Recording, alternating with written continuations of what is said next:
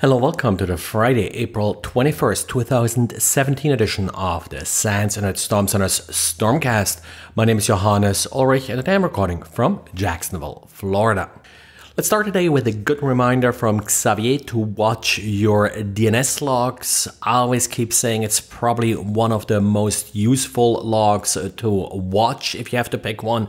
And in this case, again, it's about very large, very long DNS queries that are often used and indicative of covert channels. Xavier uses a little bit of different trick than what I usually do. He uses the base 32 command in order to encode the data. I usually just use XXD. Uh, the result is similar. Base 32 is probably actually a little bit more efficient. And apparently, the W3C, the organization that is behind many web standards, is considering making ambient light sensors in devices accessible via JavaScript. Ambient light sensors are typically used to dim or brighten displays in order to adjust them with the surrounding. In some more modern, fancy devices, they also adjust the color temperature to the temperature of the light in the room. Now, with this JavaScript extension, JavaScript would have access uh, to the sensor, and with that, of course, would learn more about the environment the phone or the computer is used in, which has some privacy implications. Now, this standard is far from finalized yet, so not exactly clear what, like, for example, the update frequency is or the granularity of the readout. But in a proof of concept demo, a researcher was able to, for example, read QR codes and other data displayed on the screen, including, for example, to identify popular websites. Now, based on the demo, it's my impression this was sort of a best case, so likely the details won't be as granular as in this uh, demo, uh, but overall, of course, it could certainly leak information about uh, the user. Personally, I could see some form of covert channel where you have some device in the room that changes lighting conditions, and then the ambient light sensor on another device is picking up these changes and reporting them back. At this point, Firefox and Chrome are shipping with this feature, but in Chrome it's turned off by default. You have to specifically enable it. In Firefox, it's enabled by default and also does not require user permission in order to report back these ambient light sensor settings.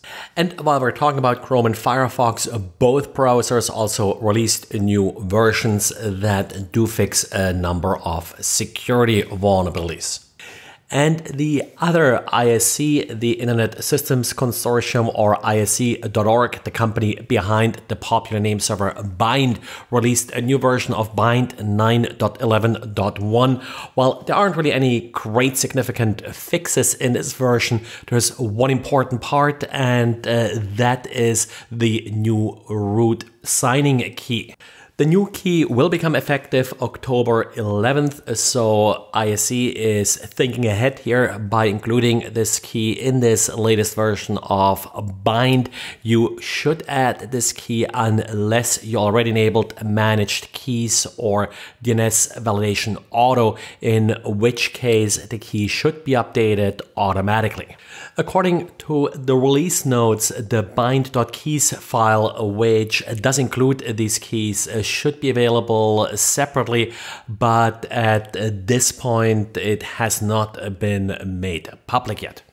During this year's RSA conference, I mentioned during our panel that we had there that random numbers is sort of one of those critical issues, in particular for Internet of Things style devices, virtualization and the like. Now, Whitewood Security, a company that in the past was more known for making these relatively high end but also somewhat expensive uh, random number generators that you can plug into servers, came up with a new concept. They're essentially providing entropy as a service.